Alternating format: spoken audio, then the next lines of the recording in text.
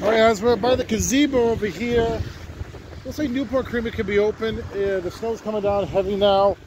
It is the uh, two o'clock hour. Woo! It's coming down. People are shoveling over here. Can't even walk over here. So yeah, I'm gonna go back this way, but let's try to go around and show you more Garden City over here. And uh, just the snow's coming down.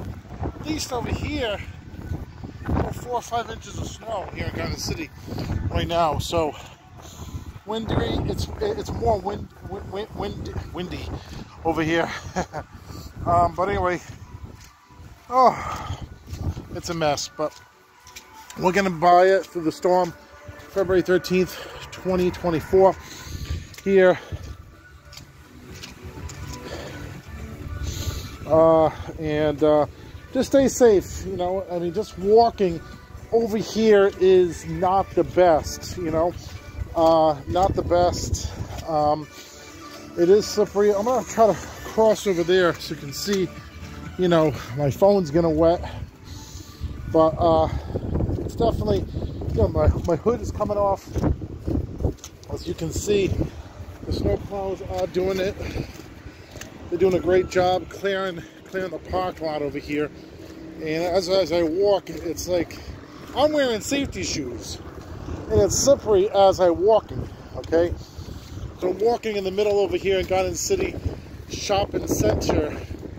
They go towards the Gap and Ch Chipotle. I think Chipotle is open.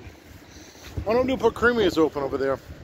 But, again, more people are staying home. Yeah, people want food. But, you know, it's just a uh, not the best day to go out and walk over here.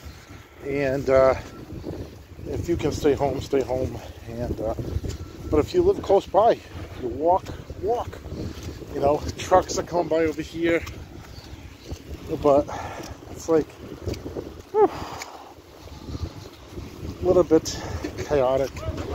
The shovel is over here.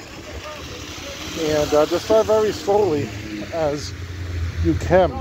Um, and uh, be very cautious and take your time you know so uh, that's all. Again take your time and uh, enjoy the snow day with your family. Um, more to come as uh, just giving you updates on the hour um, so, nice music over here in Garden City. But, uh, definitely snowy walk, snowy commute. Derek Shapiro, more to come.